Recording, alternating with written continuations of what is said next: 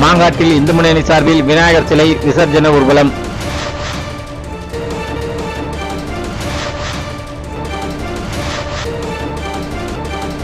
காஞ்சிபுரம் மாவட்டம் குன்றத்தூர் ஒன்றியம் இந்து முன்னணி சார்பில் காஞ்சி மாவட்ட துணைத் தலைவர் கிருபானந்தன் தலைமையில் மாங்காடு பகுதியில் இந்து முன்னணி சார்பில் பல்வேறு பகுதிகளில் வைக்கப்பட்டுள்ள விநாயகர் சிலைகளின் விசர்ஜன ஊர்வலம் நடைபெற்றது.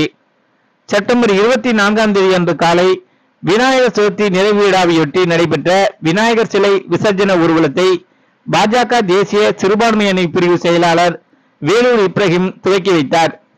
இதில் ராஷ்டிரிய சுயம் சேவா சங்க நிர்வாகி வினோத்குமார் செங்கல்பட்டு வடக்கு மாவட்ட பாஜக செயலாளர் ஹரிபாபு உள்ளிட்டோர் கலந்து கொண்டனர். விநாயகர் சிலை விசர்ஜன ஊர்வலத்தை முன்னிட்டு மாங்காடு காவல்துறை சார்பில் பலத்த போலீஸ் பாதுகாப்பு ஏற்பாடுகள் செய்யப்பட்டிருந்தது. மாங்காட்டிலிருந்து புறப்பட்ட விநாயகர் சிலைகளின் விசர்ஜன ஊர்வலமானது குன்றத்தூர் பல்லாவரம் வழியாக சென்று அங்கிருந்து பாலவாக்கம் நீலாங்கரை கடற்கரைக்கு விநாயகர் சிலைகள் கொண்டு செல்லப்பட்டு கடலில் கரைக்கப்படும் என தெரிவிக்கப்படுகிறது.